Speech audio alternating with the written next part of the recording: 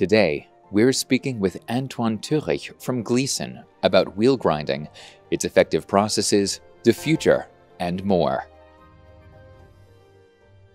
Let's talk about the new features and capabilities of the 200GX and 260GX threaded wheel grinding machines. Yeah, so uh, when we developed this machine, we wanted to uh, provide our customers a solution uh, which offers a high productive grinding machine with the shortest possible floor to floor times, with shortest possible setup time, very important topic, and offering the latest and greatest technology features such as twist controlled grinding, polish grinding, or our uh, newly uh, developed feature closed loop. Once the setup is done, is there a learning process that goes along with it? That is an important topic uh, which we learn from a voice of customer, which we typically do before we start a development. So we do interviews uh, with customers uh, to uh, learn more about their specific needs and uh, and we learned that uh, even in a high volume production environment, setting up machines is still pretty important. And then obviously uh, to uh, shorten it up as short as possible because the setup time is non-productive time. And uh, so uh, we came up with a solution to set up our machine in less than 20 minutes. And even more important, uh, to do it with just one tool only. And I have this tool here. And here is the tool. So that is the tool which is required to set up our grinding machine. Uh, so with this tool, you uh, uh, can do the exchange of the grinding wheel, you can do the exchange of the uh, dressing discs, uh, you do the exchange of the work holding equipment. Other stuff like um, gripper inserts don't even require any tool, so uh, that is now a very much simplified setup. This looks like a typical Allen key, though. Yeah, yeah, that's it. It's a, a very simple tool which you can buy everywhere. Uh, in, a, in, a, in, every Home Depot, you can buy this tool. Uh, nevertheless, we labeled it with Gleason. Um, but yes, that's that's a tool. But it's not just about the tool. It's also uh, the whole environment uh, which we have put around the setup. So Another important topic is the whole setup cycle is software guided. So uh, uh, the operators are getting instructions right on the screen of the machine, step by step instruction, no text, just pictures. Um, so even untrained and unskilled operators can learn it very fast by using these instructions. And um, uh, yeah, that's that's basically it twist controlled grinding. You mentioned this in the beginning. So, what are some efficient processes to it? Yeah, twist uh, twist controlled grinding is is a topic which uh, uh, appears on uh, when grinding helical gears. So uh, today, uh, almost all gears which are being ground are helical gears, and when you apply a certain amount of lead modification, which is also the case in, in, in in most cases. So, and uh, the problem with that is that uh, when doing so, you are creating a topography of, of your uh, flank, which is no longer uh, as it is is supposed to be, but it is twisted. So when and the problem with that is that the gear flank does not come out as it was designed to be, and the problem is that uh, uh, having a twisted gear when mating with the uh, uh, opposite gear uh, will impact the meshing behavior of those two gears and especially will have a negative impact on the noise behavior of such a gear pair.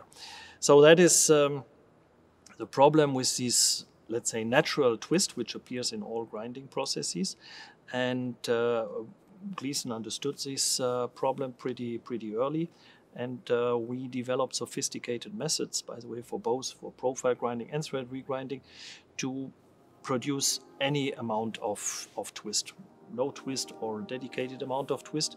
And uh, gear designers nowadays are even requesting uh, for more and more gears for uh, a specific twist. Our method, uh, which we are applying on our Gleason machines, does not affect cycle time and it does not affect dressing time, which is very important. So whether you do twist control grinding or you don't do, you have no impact on the cycle time, and uh, hence you are not uh, really affecting also cost, which is a big differentiator from other methods available in the market. Closed loop system. Sometimes things need to be controlled and looked after. How is that brought together in an efficient way? Um, so the, the, the, idea behind closed loop is also to take out the uh, uh, operator operator skills because uh, so in the past and still nowadays pretty often uh, what is being done is a, a, gear is being inspected from time to time uh, on an inspection machine, hopefully on a Gleason inspection machine, since we offer uh, very nice solutions for that as well. And then the inspection machine is doing normal gear inspection, and then the operator gets a printout of the inspection machine, and then he has to decide based on his skills whether uh, uh, everything is okay, whether everything is within tolerances. And if not, then he has to do something and he has to go back to the machine and do some adjustments and settings and do some corrections.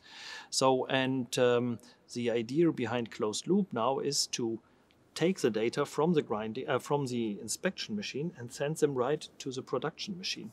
And uh, interestingly, this basically was an idea by one of our customers uh, and this customer had already a, a, honing machine and he was using a Gleason inspection machine. And he came up with the idea and told us some years ago, he told us, hey, folks, why are you not connecting these two machines together and making them talk together? And we thought about it, and uh, it, it, was a brilliant idea. Uh, which we which we developed, and nowadays we can offer this for other technologies such as grinding. So the data being inspected on the gear inspection machine are being sent directly to the grinding machine in our case. The grinding machine compares the nominal values with the actual measured values and then uh, applies automatically necessary corrections. So Gleason, Gleason listens to their customers. Now, what about the custom demand shaping R&D at Gleason?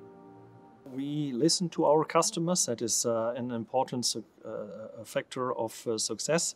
Uh, I, I, told you in the beginning that we did a voice of customers, so we listen a lot to customers, um, to their requests, their wishes, uh, to their ideas, and uh, then uh, we, uh, let's say, do a lot of uh, developments depending on these wishes. So we couldn't sit in an ivory tower and, and invent strange things uh, without, let's say, matching with customer needs. So it's it's very important to to listen to to the needs. The future of Gleason, in the next five to ten years, what are some innovations in the near future that we can look forward to? Oh yeah, I was expecting such a question for the end of this uh, interview. Um, and actually, it is the most difficult question to answer because uh, nobody has a crystal ball to look into the future. I still see a big future for grinding of gears, hard finishing of gears, uh, because with the uh, transformation of the conventional driving towards e mobility, uh, this will heavily impact our industry, the gear industry.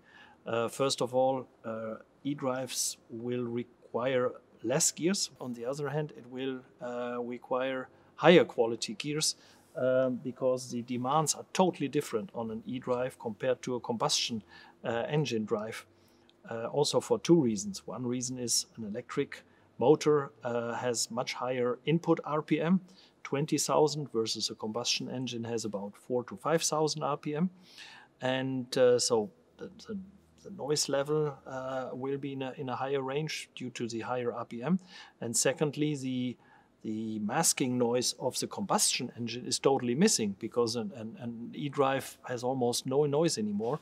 So this is uh, making the situation even more critical in terms of noise characteristics. And therefore I'm convinced and we see it already today that the quality demands for gears such as this one this is uh, this is not an electric gear. This is from a standard gearbox. Anyhow um, the quality demands will will further increase and uh, we have to, to face these uh, challenges. Uh, in addition to that, um, IoT topics, Internet of Things topics, we call them Gleason 4.0 solutions, are becoming more and more important nowadays. So connecting things together, so connecting tool information, work holding information, uh, everything, uh, measuring information with the production information uh, is an, an, important factor. Uh, we are working on that. We already offer solutions, and I'm sure uh, this will become much more important in, in the future. Well, thank you so much for your time today. Yeah, thank you for having me.